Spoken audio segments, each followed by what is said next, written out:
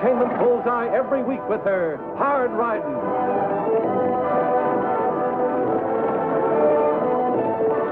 Straight shooting.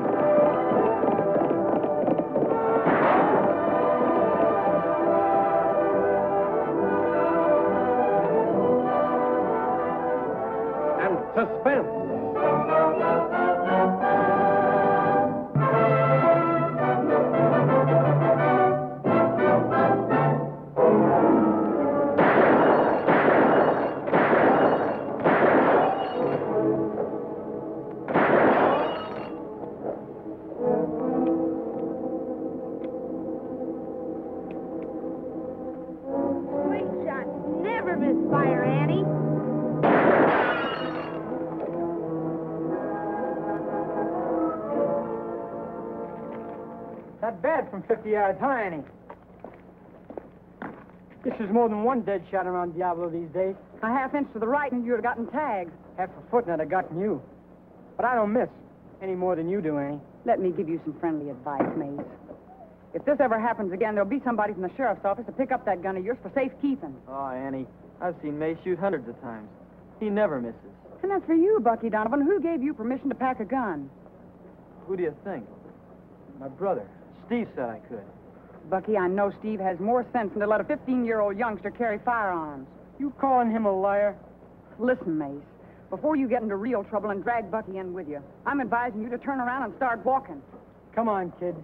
Let's get out of here before I lose my manners in front of a gabby female. If I was just a little bigger, I'd show him a thing or two. No, Tagg.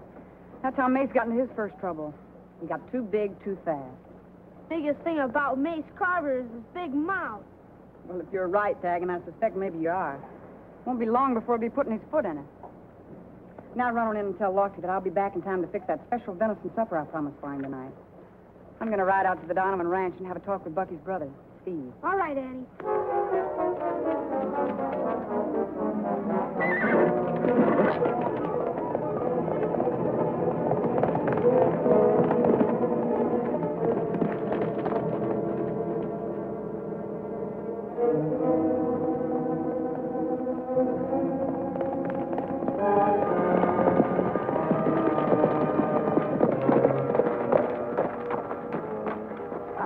Sure good to see you.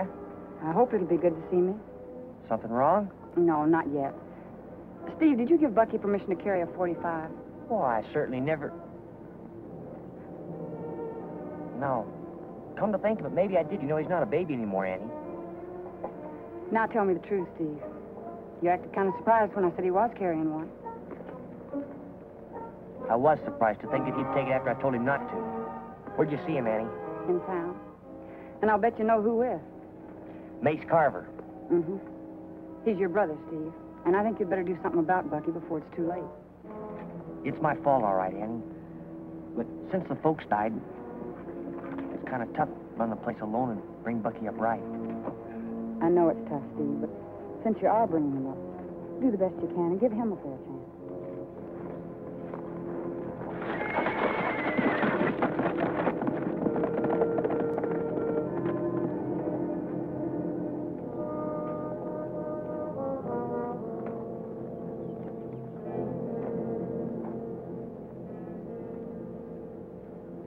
Hi, Steve. How's tricks? What's the idea? Don't let me ever catch you toting this again, understand? I saw Blabbermouth riding away from here. Regular old lady, ain't she? Can't wait to tell everything she knows. That'll be enough out of you. Anything Annie says is for your good and mine. Yeah, she just saw someone else around here can fan a gun better than she can. Look, kid. When you were just a button, you'd fall and you'd hurt yourself. You'd come to me for help. Well, you're riding for a fall now, and it, it just could be that I won't be around when it happens.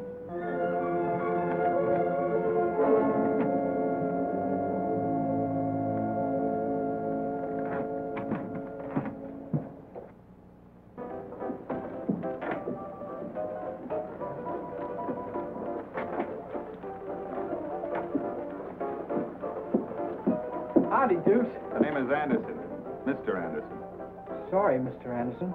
Sorry, Mr. Anderson. That uh, sign means just what it says. No kids. I was just going to get a few packs of old cards. If you're through with them. So what do you want playing cards for? Well, I use them all the time. Practice with them. Could I go in and... No. You wait here. I'll get them for you.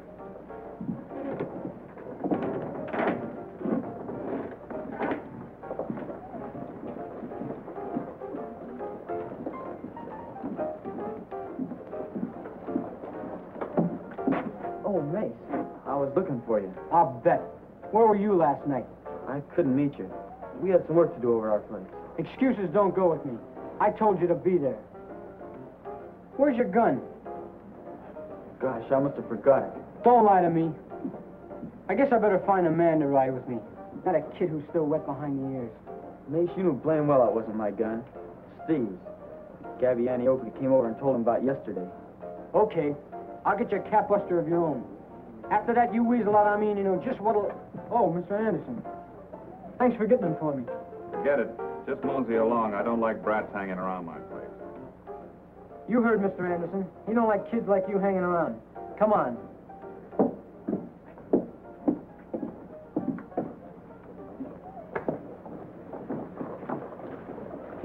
I got a good Frontier model in my gear. All you'll have to get is your own holster. You bet. Say, what do you want with the playing cards? Practice, kid, practice. If you think Annie Oakley's good, wait till you see me shoot the spots off a six o' spades. What's the idea? Can't you see where you're going, you old fogey? You better learn to manage your tongue when you're talking to your elders, you little pipsqueak, you. Think maybe you can teach me? Oh, get out of here. Who do you think you're shoving? Go on. Go for it.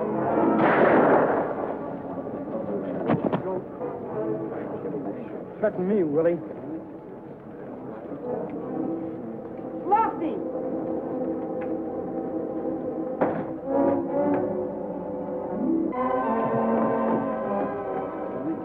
Where do you think you're going? Who drew down on Simmons? You, Mace? Yeah. Oh, Old Coot drew first. Yeah. Simmons went kind of berserk. Went for his gun. Well, that's something we can check up on later. He's still alive. We're taking him over to Dr. Burns now. You do the shooting, Mace? He admits it, Lofty. Claims he has a witness. If Ike Simmons dies, you're going to need more than one witness. He's got more than one witness, Deputy. I saw the whole thing. You sure, Anderson? Oh, I'd swear to it in court if that's what you mean. Simmons was a fool. Let this kid bait him into scratching leather. I guess that's that, Lofty. Guess so. You two stick around town. Simmons should die. There'll be an inquest. Sure can't thank you enough, Deuce. The name is Anderson, and I didn't do it for you. I just told the truth. Come on. About Ike Simmons, I'm thinking about Mace, too. Getting ready for the shooting is going to make him even harder than ever to handle. If this radio will be lucky if he just ends up in here. Not dangling at the end of a rope. And Bucky Donovan with him. Lofty, isn't there something we can do to keep Bucky from getting in as deep as Mace? Do? Well, you talked to his brother yesterday, didn't you? Today's back with Nate, stirring up more trouble. Doc Burns said Mr. Simmons is gonna be all right. Sending him home tomorrow. Hey, that's good news. Yeah, it is. It might be bad news for Mace. Now he's free to try it again, and this time he might kill somebody trying to prove just how tough he is. Oh, gosh, Annie. Even you have to admit he's a good shot. Anybody can be a good shot Tagg with a little practice, but well, Mace doesn't even know what a gun is for. What do you mean, for? Well, a gun is supposed to be used for self-protection, but Mace is trying to use it to prove himself. He'll prove himself, all right. Prove himself guilty of murder.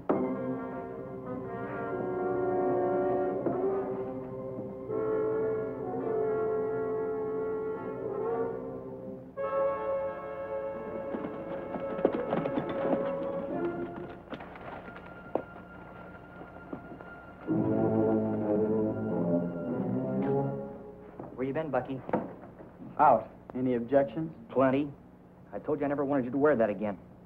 Yeah? Well, this happens to be mine. Give it to me, Bucky. You want it? Take it. I said, give it to me. And you know how you can get it. Now, look, Bucky.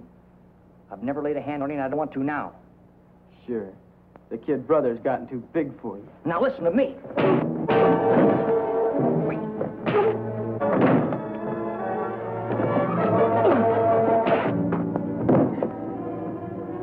Sorry, Bucky. Now, give me the gun. Oh!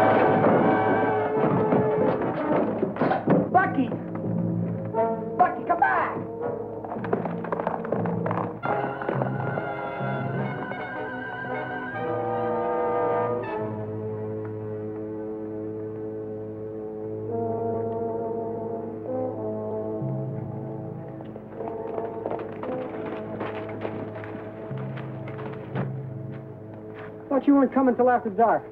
I had some trouble with Steve. Thought I'd better get here while the getting was good. All right. Hit your horse up out back where mine is. The idea. Watch.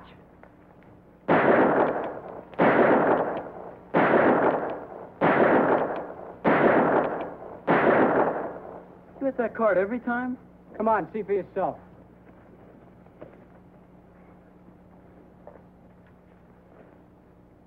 That's what's left of the six of spades. Geminetta. Right the middle of every spot. Sure wish I could shoot like that. Ah, takes time. You learn. But tomorrow, leave the close shooting to me.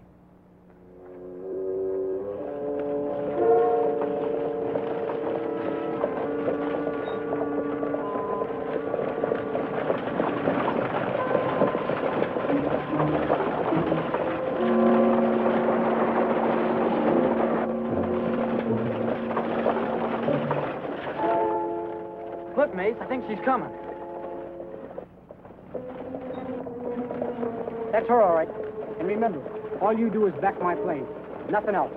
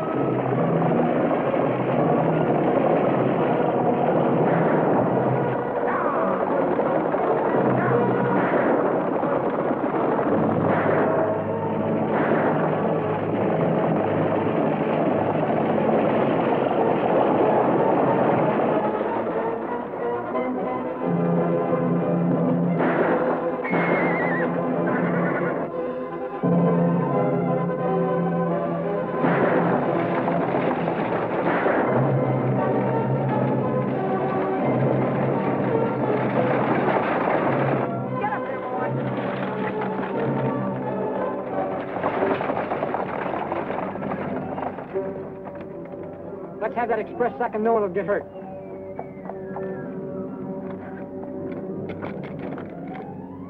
Here's your receipt.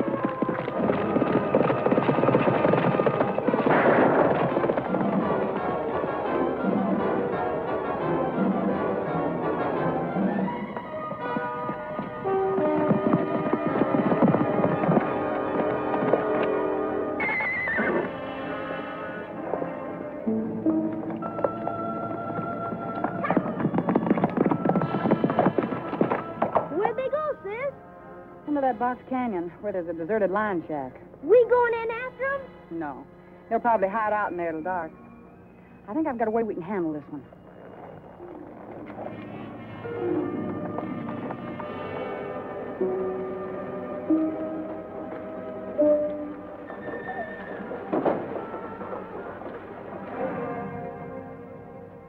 That's a fine lot of proof.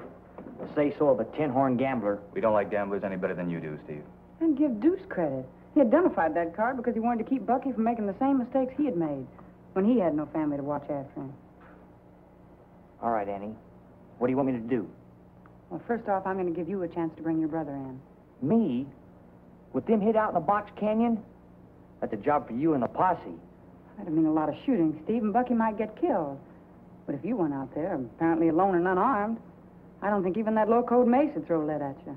We'll be there with you, Steve. You might save Bucky from being hurt if Mace decides to run for it. You don't have to do it, you know, Steve. No, it's my fault I let him go this far. I just hope it's not too late. Good. Well, Tagg, this is one time I want you with me. Oh, Jesus, honest? Honest. I think that slingshot of yours might come in handy.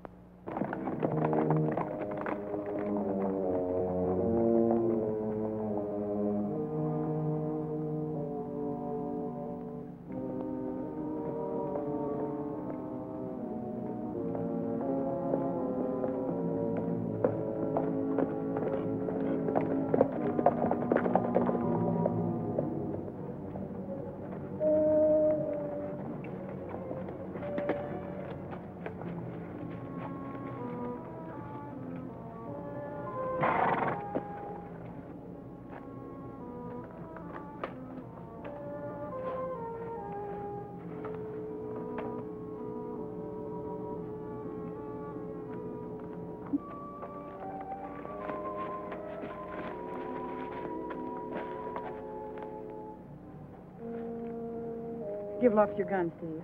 Give me the holster, too. Thanks, Steve. From here up to there, you're on your own.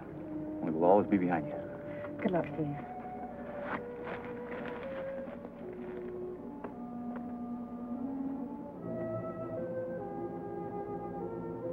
Mace, let's get out of here. I told you we're staying till dark, and that's just what we're doing. But I know Annie saw us right up here. Bucky? Bucky, this is Steve. I'm coming up.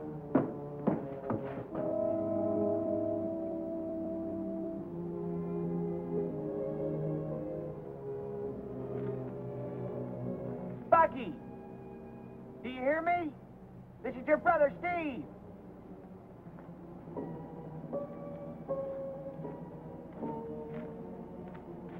Bucky!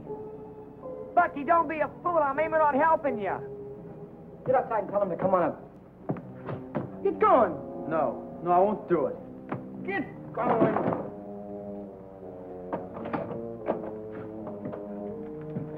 Okay, Steve.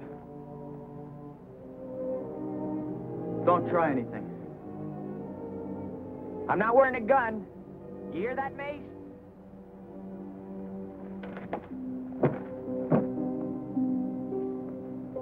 Hey, where's Mace? Right here, Donovan. Telling you how you're going to get us out of here.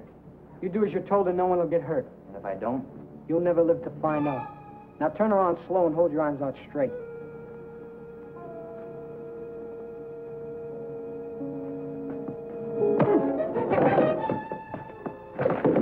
This is just going to get you in more trouble, boy, because Annie and Lofty are both outside. I thought so. You're calling out to them that we're walking out of here together. And if they try and stop us, you both get plugged. No deal, Mace. I'm calling your bluff. This says I'm not bluffing. You squeeze that trigger and they'll both be in here on top of you. Yeah? Well, I'll take my chances. Now get over to that window and call them. Call him or I'll kill your brother.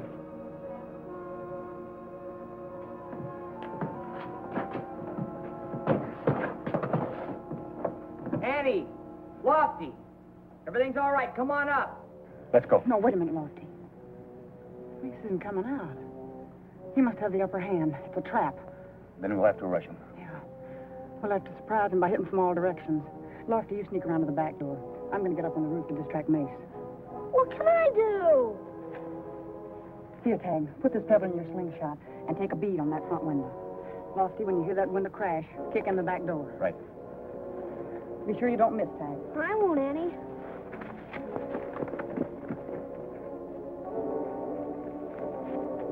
You kidding me? There's nobody out there.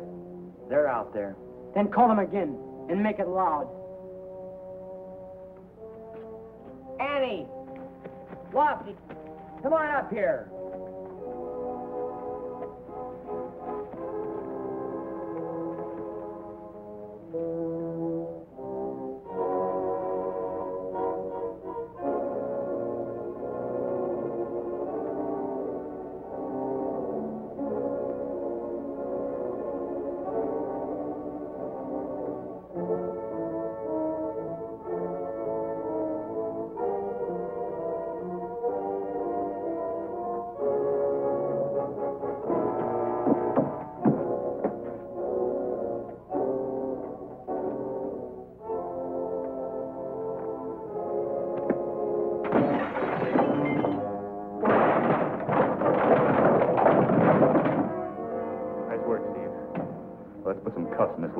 Kid.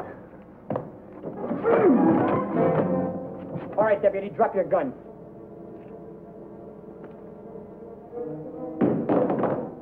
Now handcuff yourself to Steve.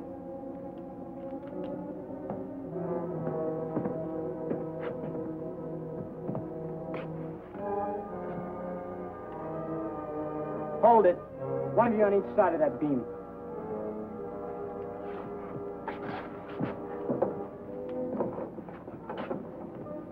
All right, Bucky, let's get out of here. Open that door. Wait a minute. Put that hat and vest on.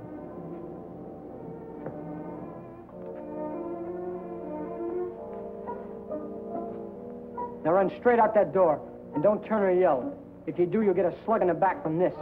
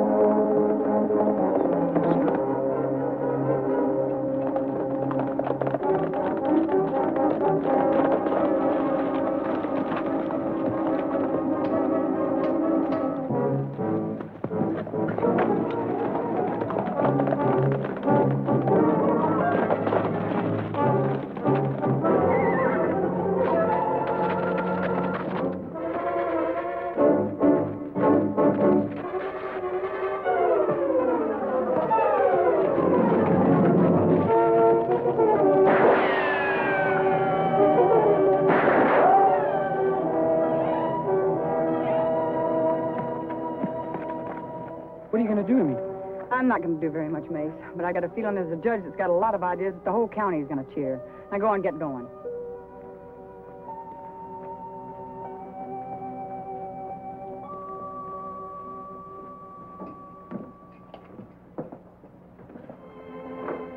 Annie, old Doc Burns couldn't have done any better. If you ask me, the doc couldn't have done as well. Well, somebody had to fix you up. You still have to stand trial, you know. Believe me, Annie, we both owe you an awful lot. Now, here's the one we owe the thanks to. He took a gun whipping to save you. When the circuit judge hears how he helped Steve, I'm sure he'll suspend the sentence and parole him to you. And this time, the sheriff's office is keeping an eye on you. We're holding you personally responsible. Well, you'll both be wasting your time, because the Darling brothers have learned their lesson. This time, for good.